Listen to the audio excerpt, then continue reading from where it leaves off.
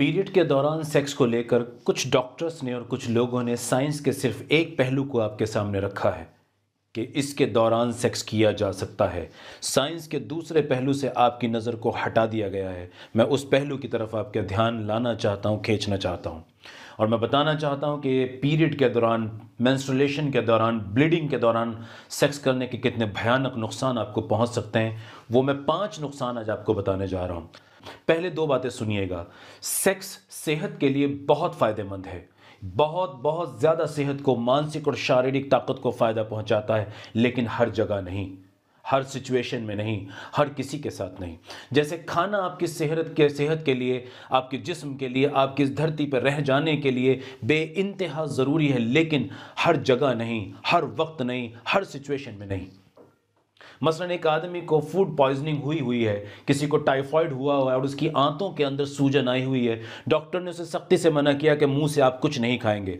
इस वक्त इस आदमी को आप कितना भी हेल्दी खाना खिलाएँगे, इसके लिए जहर साबित होगा और जान ले लेगा। बिल्कुल इसी तरह सेक्स आपकी सेहत के लिए बहुत फ़ायदेमंद है, बहुत ज़्यादा एनर्जी आपकी बॉडी में डाल सकता है, आपको मेंटली और फिजिकली रिवाइव कर सकता है, लेकिन हर सिचुएशन में नहीं। उनमें से एक सिचुएशन है मेंस्ट्रुलेशन पीरियड औरत के पीरियड के दौरान सेक्स आपको पाँच खतरनाक चीज़ें दे सकता है। इन पाँच पॉइंट्स को ध्यान में रखिए। नंबर वन औरत को कई तरह के इन्फेक्शन का खतरा कई गुना बढ़ जाता है। ज़रा दिमाग से, दिल से सोचिए तो सही, जिस जगह से लगातार खून बह रहा हो, जहाँ यूटेराइन ब्लीडिंग हो रही हो यूट्रस से ब्लड बाहर निकल रहा हो वेजाइना के थ्रू वो सारी जगह कितनी सेंसिटिव और कितनी अनहाइजीनिक हो चुकी होगी।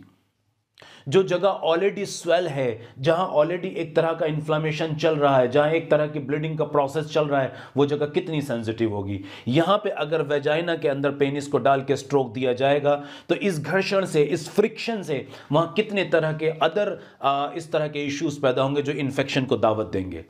स्टडीज़ कहती हैं, ये साइंस ही कह रही है डॉक्टर इमरान नहीं कह रहे साइंस ही कह रही है कि कई तरह के सेक्स से फैलने वाले इन्फेक्शन का खतरा बढ़ जाता है, जिसमें एचआईवी भी है। इसी तरह औरत को कई तरह के फंगल और वायरल इन्फेक्शन होने का डर भी हो जाता है। आप कैसे मोहब्बत करने वाले हैं कि आप अपने पार्टनर को मुसीबत की तरफ़ धकेल रहे हैं? थोड़ी सी देर के मज़े के लिए। हरगिज नहीं, इससे बचना चाहिए।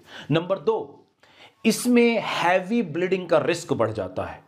जी हाँ मैं आसान जबान में थोड़ा सा आपको बताता हूँ। जब एक लड़की को पीरियड हो रहे होते हैं, एक औरत को पीरियड हो रहे होते हैं तो उसके बच्चेदानी का मुँह खुला हुआ होता है, वेजाइना का मुँह खुला हुआ होता है और वहाँ लुब्रिकेशन नॉर्मल से ज़्यादा होता है। ऐसे में ख़तरा होता है कि मर्द बहुत फोर्सफुल सेक्स कर सकता है। फोर्सफुल सेक्स भी ना करे, फिर भी पेनिस के लगातार स्ट्रोक से वहाँ के टिश्यूज रप्चर हो सकते हैं। वहाँ की मांसपेशियाँ आसान जबान में कह रहा हूँ, वहाँ की जो अंदर की खाल है वो कमज़ोर नाजुक होकर फट सकती है। तो एक तो ब्लीडिंग उसके पीरियड की हो रही है, दूसरा आपने उसको इंजरी पहुँचा दी है। जिससे उसको खतरनाक इन्फेक्शन के साथ साथ हैवी ब्लीडिंग हो सकती है, जो उसकी जान के लिए खतरा भी बन सकती है। कुछ केसेस हमने पर्सनली ऐसे देखे हैं हॉस्पिटल्स के अंदर। जी हाँ जनाब, आप इसे क्या समझ रहे हैं? नंबर तीन मर्दों को भी खतरा है। मर्दों को भी बैलेनाइटिस जैसी बीमारियाँ इससे हो जाया करती हैं। पेनिस के कई तरह के इन्फेक्शन इससे हो जाया करते हैं। और कुछ लोगों में पेनिस का जो होल है, जहाँ से आप यूरिन पास करते हैं, इसके अंदर इन्फेक्शन और ब्लड जाता है, जो कई तरह के इन्फेक्शन और इन्फ्लामेशन आपको कर सकता है।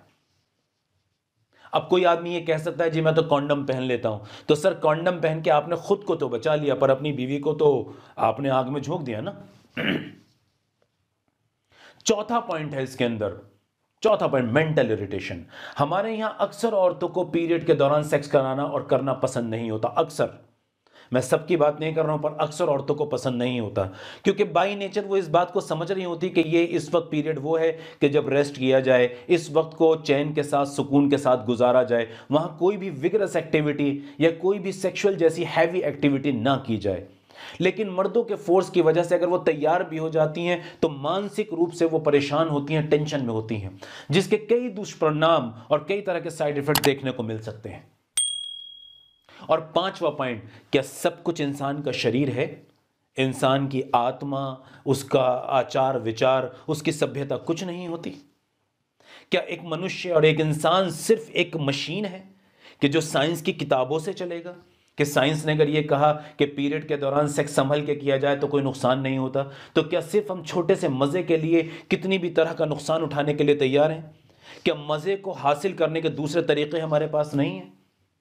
हमें अपनी इस मानसिकता से लड़ना होगा, समझना होगा कि हमें सेक्स को एक एक खूबसूरत शक्ल में देखना होगा। सिर्फ़ एक प्यास बुझाना सेक्स का मकसद नहीं होता है। सेक्स सिर्फ़ इस चीज़ का नाम नहीं है कि किसी औरत के ऊपर आप टूट पड़े और अपनी हवस को पूरा करके आप उसकी सेहत को बिल्कुल उठा के एक तरफ़ रख दें कि जैसे वो आपके लिए एक खेल और खिलौना है, हर किस नहीं। कुछ औरतें भी हैं जो शायद इस सेक्स के इस दौरान, चूँकि कुछ स्टडीज़ कहती हैं कि पीरियड के दौरान कुछ औरतों की सेक्सुअल डिज़ायर बढ़ जाती है। मैं उन औरतों को भी कहूँगा कि वो भी समझें कि डिज़ायर बढ़ने का मतलब ये नहीं कि आपने उसे पूरा ही करना है।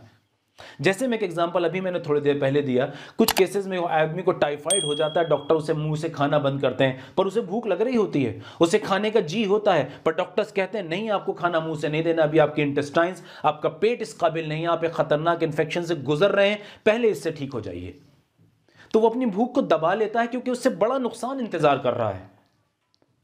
तो हाँ सेक्स में आपको मज़ा आता है सेक्स आपके लिए हेल्दी भी होता है, पर अगर उससे बड़ा नुकसान आपका इंतज़ार कर रहा हो तो अक्लमंदी नहीं है कि इस छोटे और थोड़ी देर के फ़ायदे को ख़त्म कर दिया जाए और बड़े फ़ायदे को उठाया जाए।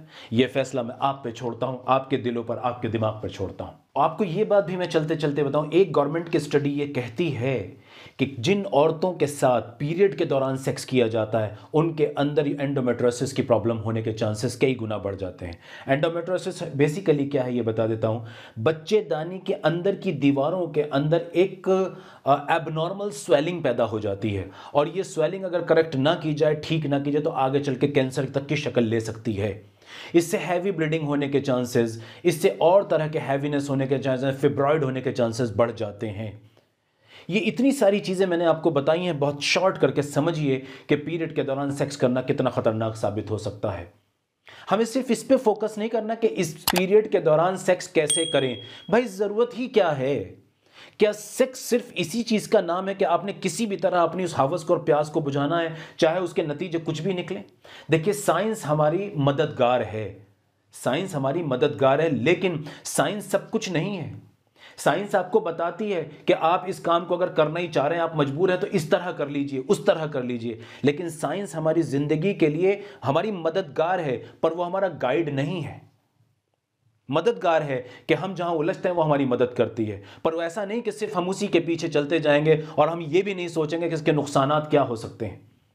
साइंस दोनों तरह की बात करती है, जहाँ साइंस पीरियड के दौरान सेक्स करने के कुछ फ़ायदे बताती है, कुछ फ़ायदे बताती है, वो ही साइंस ये भी बताती है कि इसके कितने भयानक नुकसान हो सकते हैं। तो क्या ये फैसला आप नहीं कर सकते?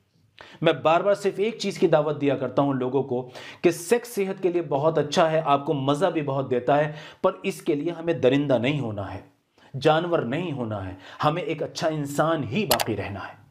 और इसको एक ज़िंदगी का अहम हिस्सा समझते हुए सही सही ट्रैक पे चल के पूरा करना है।